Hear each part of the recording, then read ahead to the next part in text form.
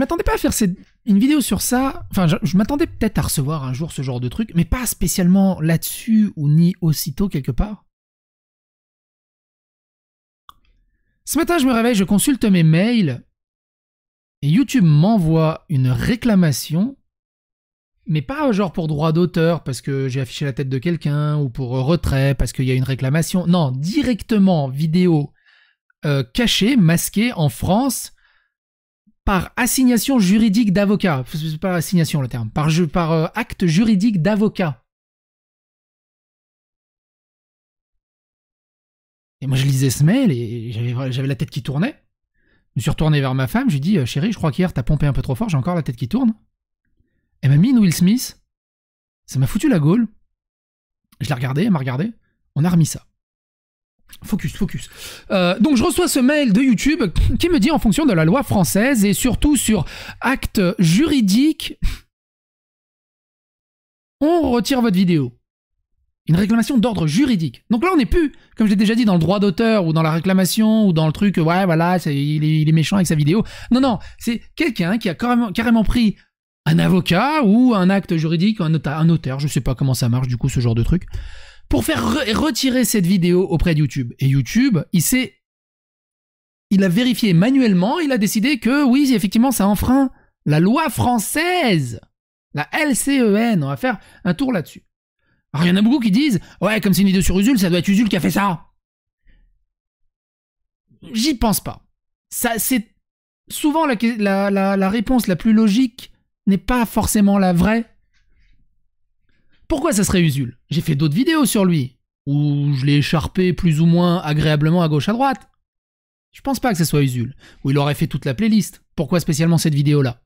De plus, Usul, on n'est pas d'accord sur des points à gauche à droite, on n'est pas d'accord sur des choses, mais Usul c'est un type quand même qui vient du rétro gaming. Et dans le rétro gaming, on est tous des grandes gueules, on aime bien se jeter dans la piscine, faire du pogo, mais il y a quand même un espèce de respect dans la liberté d'expression, dans la liberté de parole, dans la liberté de donner des avis et des opinions. Bon, ok, il a cherché à cancel Napoléon, mais de toute façon, Napoléon, il est mort, il s'en fout.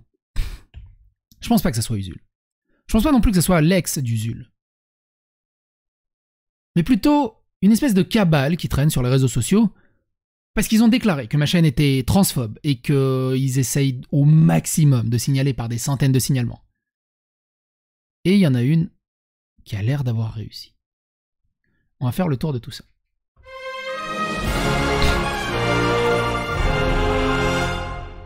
Donc ce matin, je reçois ce mail. Bonjour psychodélique, salut YouTube. Nous avons reçu une réclamation d'ordre juridique concernant votre vidéo L'ex d'Usul de transpute marxiste à anti chrétienne. Tout le monde m'a reproché ce titre, enfin tout le monde, une grosse partie m'ont reproché ce titre.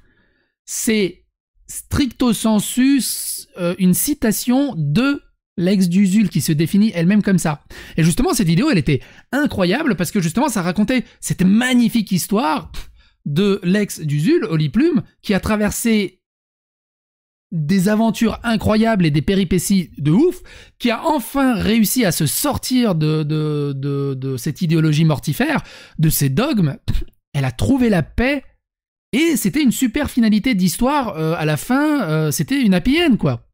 Et de raconter toute cette histoire et toutes ces péripéties, cette vidéo est juste magistrale de ce côté-là. En plus, ça ne fait que citer que des articles publics qui sont dans des journaux à gauche à droite, rien n'est inventé, l'intégralité du texte est une expression de la vérité. Mais bon. Après examen, nous avons masqué votre vidéo sur le site YouTube en France, conformément à la loi française pour la confiance dans l'économie numérique. Alors avant d'aller plus loin, c'est assez important. Ils ont masqué la vidéo en France. C'est-à-dire qu'ils l'ont pas démonétisé, ils l'ont pas supprimé, ils l'ont pas retiré. Je sais même pas si je vais avoir un strike au final. Parce que quand je vais sur ma chaîne, j'ai aucune information. Il y a rien qui indique que ma vidéo est masquée. Il y a rien. Si j'ai pas vu ce mail, si Consulpazen ne m'avait pas prévenu ce matin, j'aurais même pas été au courant. J'aurais pas checké ma boîte mail. Merci à Consulpazen d'être euh, en avance sur ma propre boîte mail. Je sais pas comment il a fait. Et donc, si vous allez sur la vidéo, vous avez ceci vidéo non disponible. Ce contenu n'est pas disponible dans le domaine de ce pays en raison d'une réclamation d'ordre juridique. Et moi, du coup, je mets sur ma chaîne YouTube. Il y a rien qui l'indique, bordel de merde. Il y a rien. Rien. Non d'une couille. Je suis à 9700 euros pour. sur les 28 derniers jours. La vache. Et t'imagines, moi, une chaîne dans la fleur de l'âge, euh, on va dire qui a explosé que très récemment, est à 9000 euros. T'imagines, Usul, une superstar politicienne, euh, influenceur, combien ça doit palper de son côté Mais l'histoire est pas là. Et donc, en fait, quand je vais sur le contenu de ma chaîne, elle est là, la vidéo, elle est publique. Le dollar, il est toujours vert. C'est-à-dire que dans les réglementations de YouTube, il n'y a aucun problème. Puisqu'en plus, ils l'ont reviewé manuellement. Donc YouTube, pour une fois, juge qu'il n'y a, aucun problème. Mais la France, si. La France juge qu'il y a un problème. Et du coup, cette vidéo n'est plus regardable en France, sauf si vous avez un VPN, ou si vous êtes dans d'autres pays, genre euh, Suisse, euh, Belgique, euh, Québec, Canada, évidemment, si vous êtes francophone, dans d'autres pays. Là, vous pouvez la regarder. Et là, tu te dis,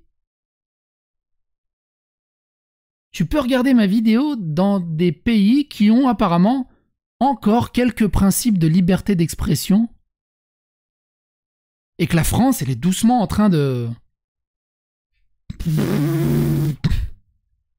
Et après, ça se moque de la Russie, de la Chine et ce genre de choses. Surtout qu'il n'y a rien dans la vidéo de répréhensible.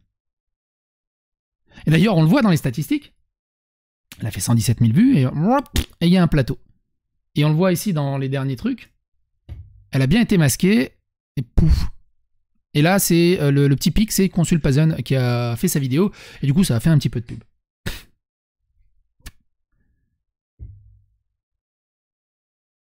Et qu'est-ce que je disais? Pour moi, c'est pas Usul ni Oli. Si vous allez sur, sur euh, les réseaux sociaux, vous tombez de temps en temps sur des tweets comme ça. Par exemple, le compte SOS Transphobie qui me dit France, signalement, transphobie, YouTube de ce haineux, transphobe, psychodélique qui genre, publie de la fausse information et incite à la haine trans inadmissible. A signalé cette vidéo, ce compte transforme partout et cite aussi mon Facebook.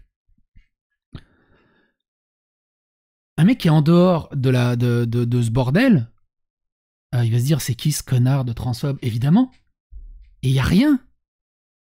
Je publie pas de la fausse information, tout est sourcé. Suffit d'aller voir. J'incite pas à la haine des trans. J'ai rien contre les trans, même si ma fille, quand elle sera plus grande, si elle a envie de s'appeler Bob, tant qu'elle aime les jeux vidéo, moi, ça, m'intéresse. Le reste, je m'en fous. De toute façon, j'ai une deuxième fille. La première, c'était un brouillon. Mais.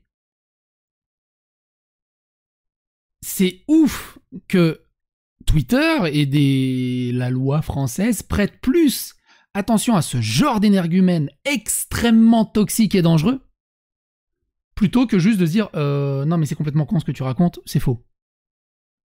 Alors c'est pas que eux, hein, c'est plein de monde. D'ailleurs, j'en profite aussi pour dire, vous êtes plusieurs euh, de la communauté LGBT, de la communauté trans, de la communauté woke même, à m'envoyer des MP à gauche à droite, pas maintenant, mais au fur et à mesure des vidéos à gauche à droite, pour me remercier des vidéos.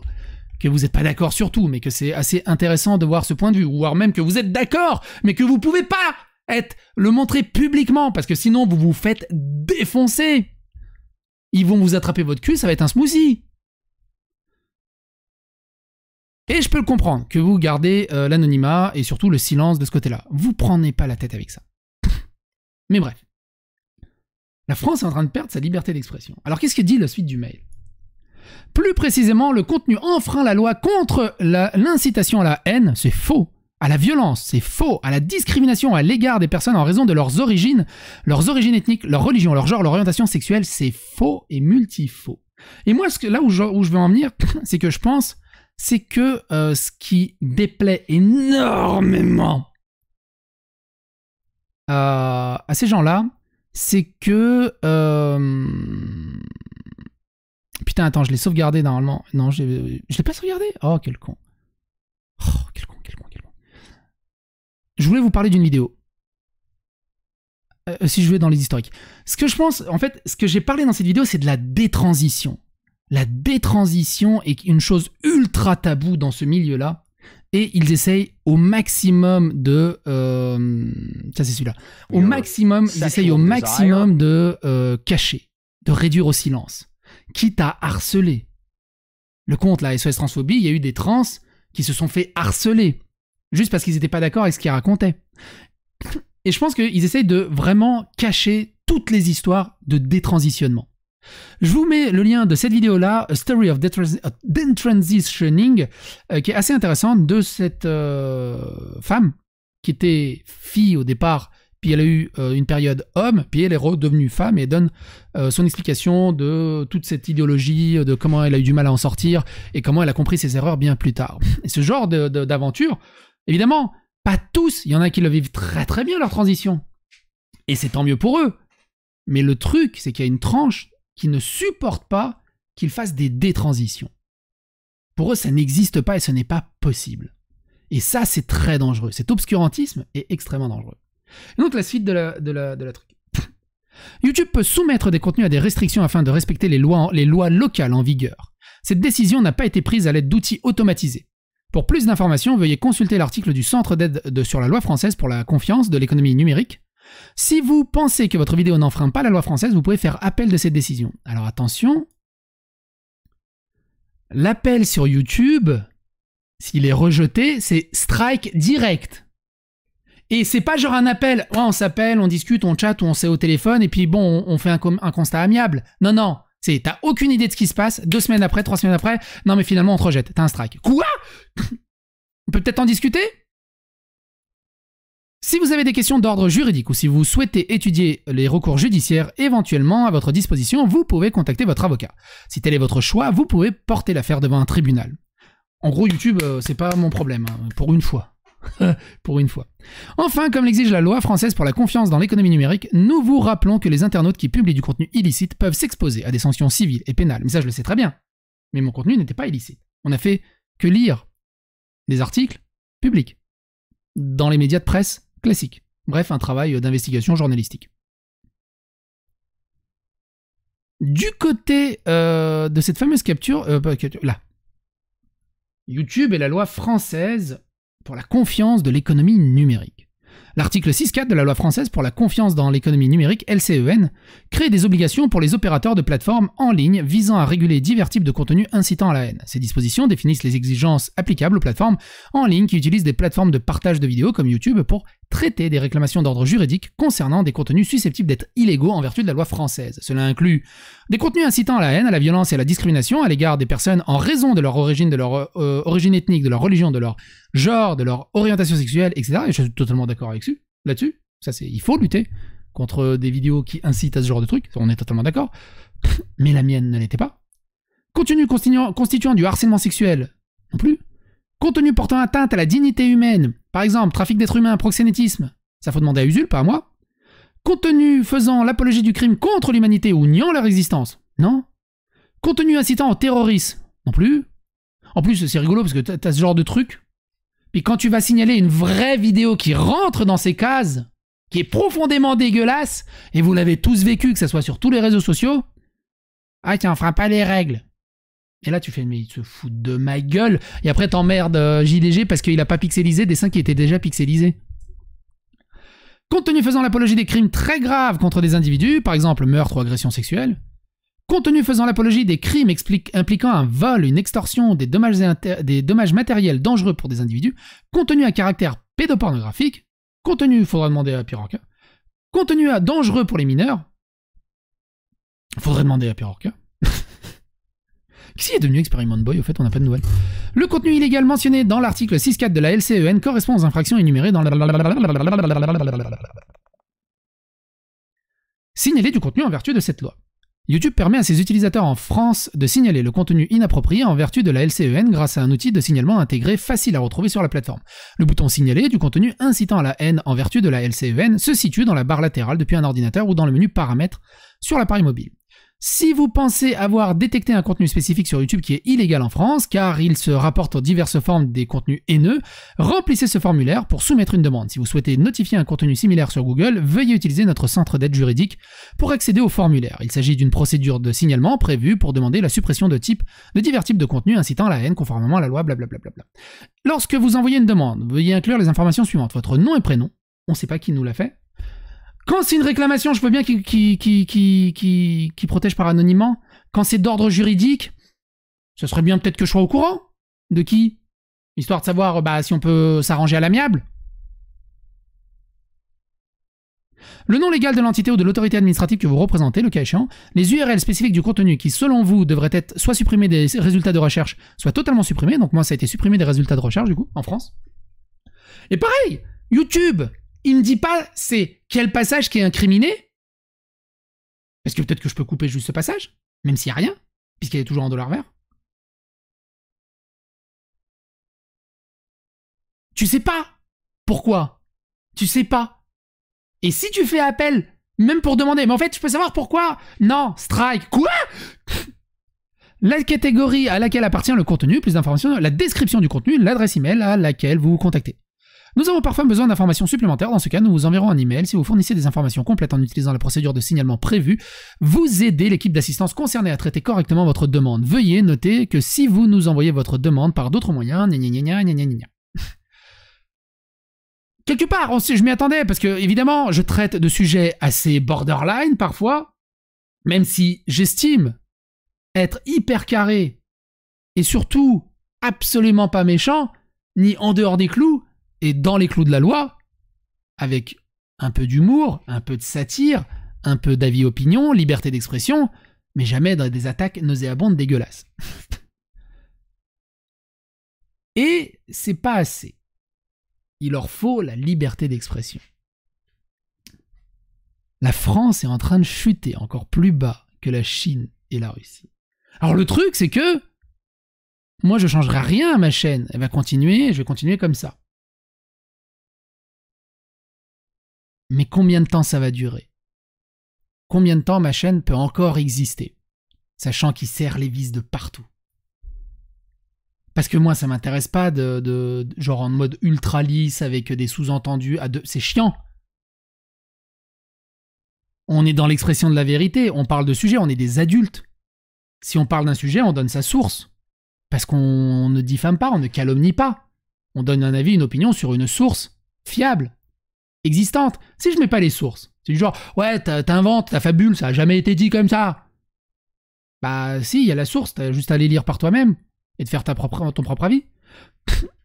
Et du coup, ça les fait chier. Plutôt que de venir discuter ou d'assumer, tout simplement, parce que moi, quand je, quand je dis une connerie, bah, j'assume derrière, je dis la connerie, mais j'assume derrière. Et ben eux, ils disent des conneries, mais derrière, si tu leur dis, hé, t'as dit une connerie, ah, t'envoies mon avocat T'as pas le droit C'est débile T'as quel âge? C'est un truc de ouf. Bref. Je ne sais pas combien de temps ma chaîne continuera d'exister. Mais pour le moment, ça ne tient qu'à vous d'exploser toutes les statistiques. Je vous remercie énormément de votre soutien et de vos MP et de vos messages que vous vous envoyez dans les commentaires. Je sais que ça fera jubiler mes haters. Mais une grosse partie de ces haters sont inoffensifs et ils phagocytent aussi mes statistiques et ils augmentent le référencement des vidéos parce qu'ils adorent venir regarder quelque chose qui les énerve. Ça ne tient qu'à vous. Faites péter les stats, les likes, les pouces, les abonnements, partagez partout autour de vous pendant qu'il y a encore un semblant de liberté d'expression. Après, ça sera trop tard. À la prochaine.